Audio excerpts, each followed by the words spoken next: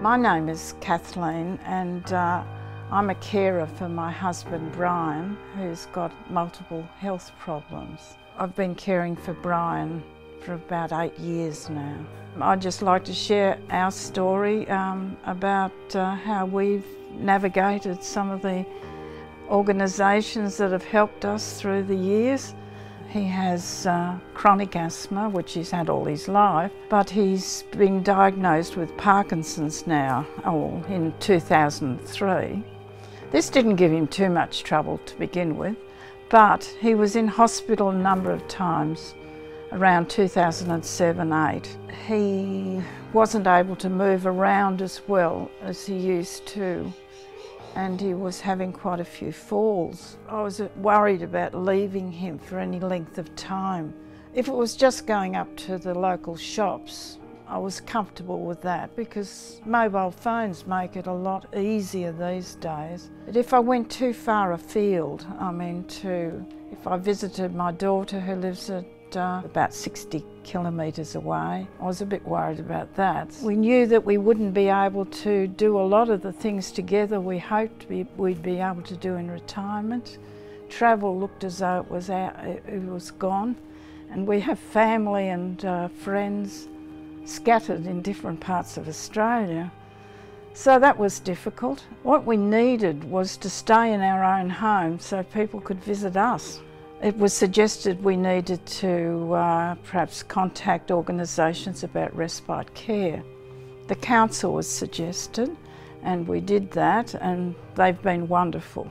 We've had them for a long time. His condition became worse. So then we needed to find somewhere else. So it was a bit of a quandary then. I rang Care of Carers Victoria and they were really helpful. They put me onto Life Assist. We were offered a little package that was we could use for respite care.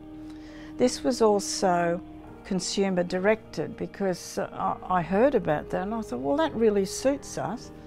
It means we can tailor the uh, respite to suit us because it rolled over from month to month so I could save some up for the end of the year when the grandchildren had different things on that I could participate in.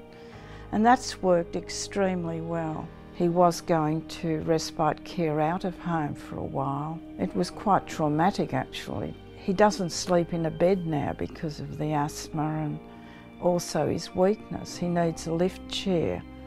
That's a bit unusual as far as some of the uh, respite care places. They don't cope very well with that. We've been able to tailor Brian's needs and my needs through the consumer directed care, respite care. It's much better for him to have 24 hour care here, which is quite expensive. So we need to save respite care sometimes so that I am able to go away for a few days. To be able to visit family in Queensland and that's worked really well for both of us. Our two daughters uh, both work full time and uh, they don't live particularly close. Well, they'd love to do more, but uh, they have their own lives, they have their own families. We don't want to uh, restrict those. When you start off, you feel as though you don't really need too much help, you know, and you, it, sometimes you feel a little bit guilty about accepting the help.